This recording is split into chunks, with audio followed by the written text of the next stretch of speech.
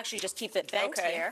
And then what you would do, just a simple at-home application. I have lotion on, is is that okay? That's, uh, well, the skin needs to be prepped and cleaned of Oh. any uh, Lotion. creams, oils, lotions. And what is that basically, you don't want to put too much tension, so you're just going to wrap it down like that. Okay. And what does that, how does that help? Yeah, what, So this is going to provide support for her. There's multiple ways you can put it on. You can put it on to facilitate or turn on a muscle, or inhibit and turn I've off a noticed people when I'm running, like behind people. I noticed a lot of guys have them like on their calves. What is Yeah. that doing?